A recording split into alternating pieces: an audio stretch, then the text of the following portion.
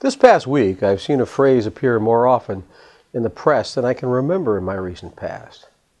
The phrase is wanted it more, usually associated with some spectacular result overcoming a ridiculously unlikely outcome.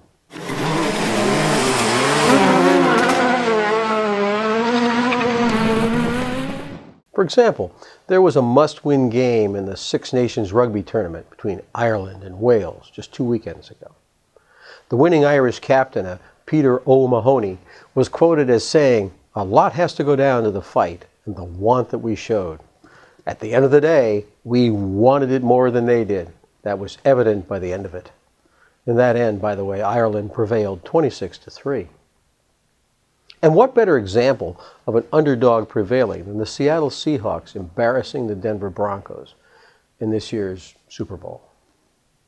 Broncos cornerback Dominique Rodgers Cromartie said in a recent Denver Post interview, We've got to give credit to Seattle. You could tell they just wanted it way more than us. No kidding. And how about Bode Miller last weekend in the Super G downhill at the Sochi Olympics? Try this on for size. In 2012, he underwent reconstructive knee surgery to repair injury he'd amassed during his lifetime of tumbling down ski hills. Last January, Miller's wife lost their baby, which would have been due in August. In April, Miller's brother Chilly was found dead of an apparent seizure, and last November, Miller lost a custody battle for his nine month old son by a former girlfriend.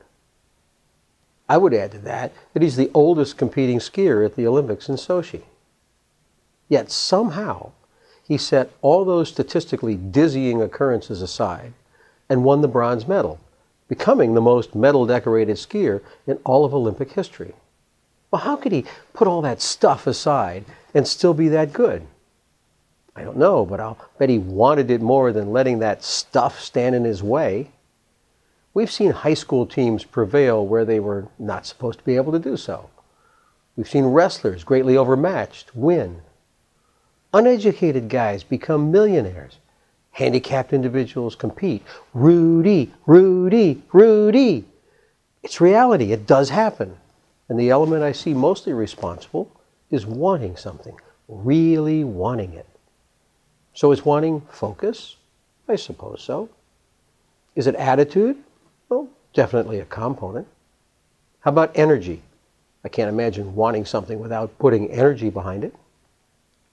Mostly, I think wanting is magic. It's what lets teams accomplish what the pundits say is impossible. It's overcoming all odds. It's playing through the pain. It's getting back up not most of the time, but all the time.